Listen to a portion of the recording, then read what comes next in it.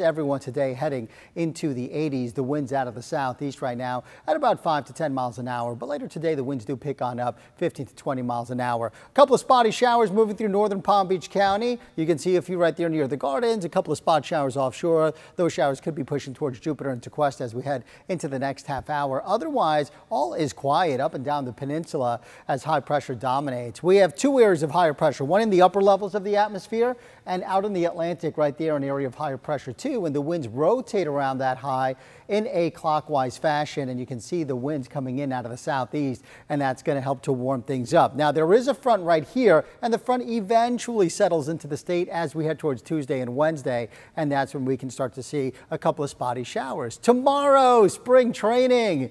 Uh, we have at the ballpark of the Palm Beaches, we have the Houston Astros versus the Miami Marlins. A very warm day tomorrow. Temperatures in the middle 80s. Likewise at Roger Dean Stadium, heading into the lower to middle 80s, a little breezy as the Nationals take on the Cardinals tomorrow. Again, that's Sunday at Roger Dean Stadium. All right, so here's the deal. There's that front to the north, and eventually the front will head our way, but not this weekend. You can see it stays well to the north. And as we head towards Monday, inches a little closer. Monday's a very warm day for us. We're talking middle to the upper 80s, so definitely on the warm side. And then by Tuesday, the front settles on top of us. Could have a couple of spotty showers around, about a 20% chance. Likewise into Wednesday. As well. Then there's another front back and that one is forecasted to come through on Saturday. Now, that one could actually bring us some rain and definitely cool us off behind the front as we head towards Sunday. So it may take a week before we finally start to cool things down. Today, 83 degrees into Vero Beach, 85 into the Palm Beaches. Then as we head into tonight, 60s for the Treasure Coast, 70s into the Palm Beaches. And here's your